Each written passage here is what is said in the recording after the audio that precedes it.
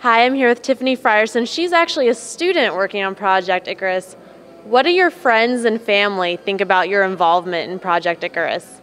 They're really excited, actually. Um, they they're proud. They're happy that I'm doing something that's gonna possibly contribute to humanity's knowledge, and um, they might not believe in space exploration them, themselves, but um, overall they're excited for me. That's really exciting. And, um, you know, since you're a student, what are your career goals and have they changed since working on Project Icarus? Yes, actually, I met my I met my mentor through Project Icarus, uh-huh. and now I know really know what I want to do with my life, which is propulsion physics. And um, you said propulsion physics. Yeah. That's a big deal. yeah, thank you. Um, at first I didn't know what I really, really wanted to do within physics, but now I do, and that's exciting.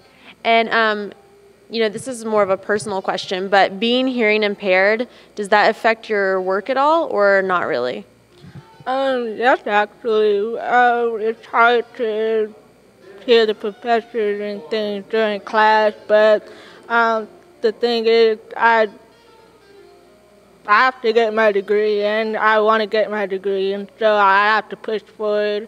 And also, my mentor, my mentor is hearing impaired also, uh-huh. and uh, he's been giving me a lot of advice and tips and things on how to proceed with my hearing impairment. That's really cool. And what do you think about going into space? Is it something, I mean, you're super young. Is it something you would want to do one day? I'm afraid of heights, but I think I can. I think I can get over it to get into space. I mean, I really want to um, experience that. Yeah. Yeah. I agree. Heights are a little scary. Well, congratulations on everything you've accomplished. Being a part of this project is a huge deal. So enjoy, you know, the entire conference, and thank you so much for talking with us. Thank you. Thank you.